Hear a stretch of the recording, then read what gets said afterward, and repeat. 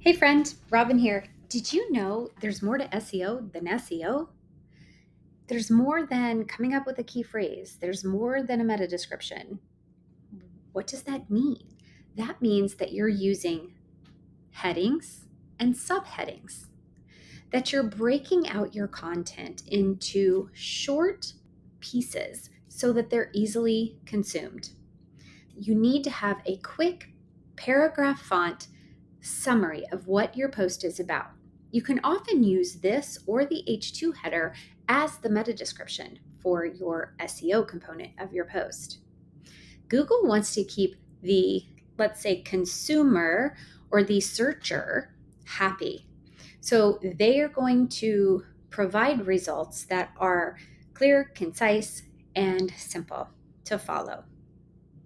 I hope you found this strategy helpful. If you have questions, you know where to find me. Did you know that there's more to SEO than SEO? There's more than coming up with a key phrase, there's more than a meta description, there's more than the slug in the URL. What does that mean? That means that you're using headings and subheadings.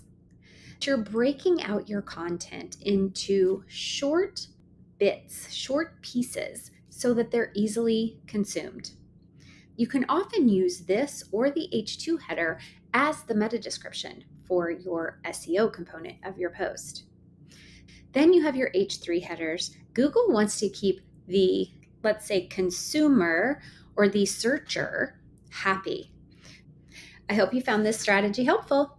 If you have questions, you know where to find me.